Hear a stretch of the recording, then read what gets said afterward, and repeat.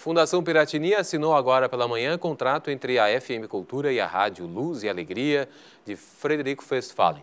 A parceria tem como objetivo fortalecer através de uma rede a comunicação pública e a presença da emissora no interior do estado.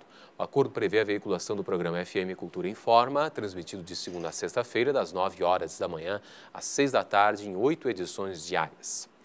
Começa amanhã em Santo Augusto a nona Expofesa, feira de negócios que apresenta o melhor da produção agropecuária, industrial, comercial e de serviços da região noroeste. A feira vai até domingo.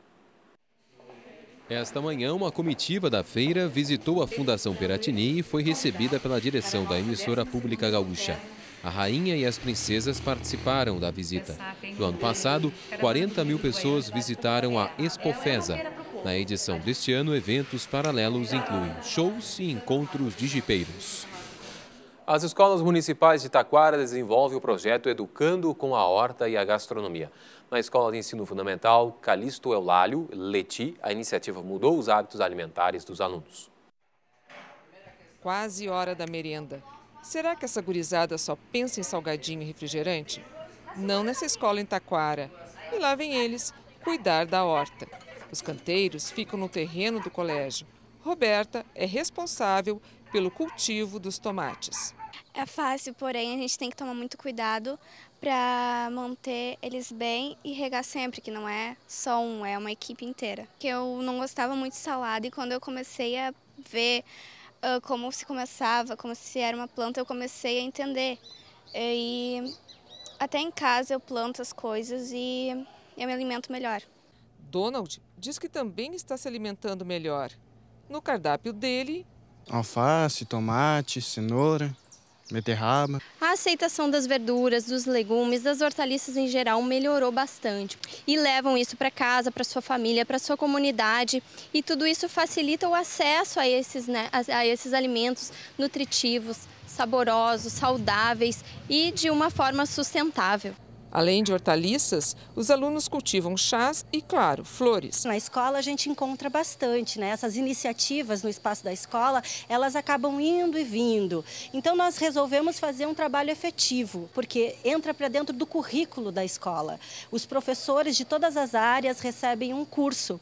E nesse curso de formação, cada professor faz um projeto de intervenção. A aprendizagem com a mão na massa, que esses alunos adoram, não para por aqui. A gente quer é que se tenha cada vez mais qualidade de vida no espaço da escola e que a escola realmente ser, sirva como um espaço educador sustentável. A Defensoria Pública realiza durante toda a semana serviço de orientação jurídica à população para buscar solução de problemas que precisam da assistência de advogados. Basta se dirigir ao centro de Porto Alegre. Todos têm direito à defesa, mas nem todos têm condições de pagar pelos serviços de um advogado. Uma ação para aproximar os defensores da população começou com uma unidade móvel estacionada no Largo Glênio Pérez para tirar dúvidas e divulgar o trabalho realizado nessa área. A procura foi grande. Nós estamos surpresos com a procura, realmente a população necessita desse trabalho desenvolvido pelas defensorias públicas. As principais demandas que nós estamos recebendo são questões uh, de direito de família, uh, direitos previdenciários que envolvam o INSS, a Caixa Econômica Federal uh, e questões envolvendo o direito do consumidor. Também estão sendo entregues cartilhas com orientações sobre os serviços realizados e as maneiras de se ter acesso. Como são duas instituições diferentes, a Defensoria Pública da União faz um trabalho específico em relação às causas que envolvam entes públicos federais, portanto, Caixa no Federal, INSS, Correios, o INCRA, URGS. É, nós estamos divulgando também, explicando como é que se dá esse trabalho. E a Defensoria Pública do Estado tem a sua cartilha em que também desenvolve todas as suas atividades e que demonstra as atividades exercidas pela Defensoria Pública do Estado. A unidade móvel estará toda semana no local e as demandas são as mais diversas. Eu vim aqui simplesmente é, relatar um caso dos remédios que são muito caríssimos, tá? E aonde que uma senhora de 86 anos ela está nesse estado disso aí e ela ganha simplesmente uma aposentadoria onde que não dá para chegar e suprir. Eu vim perguntar sobre a, aposentadoria, a pensão do meu marido que eu não recebi. Vai fazer 13 anos que ele faleceu, eu não consegui nada até agora. Eu hoje vendo a notícia e, e vi que iam estar aqui, e não, vou dar uma passada lá porque é importante. Eu acho que isso aí, para as pessoas que precisam realmente, é muito fundamental. Só fazendo uma correção, a Expofesa, a matéria que a gente mostrou anteriormente, começa no dia 29 de maio.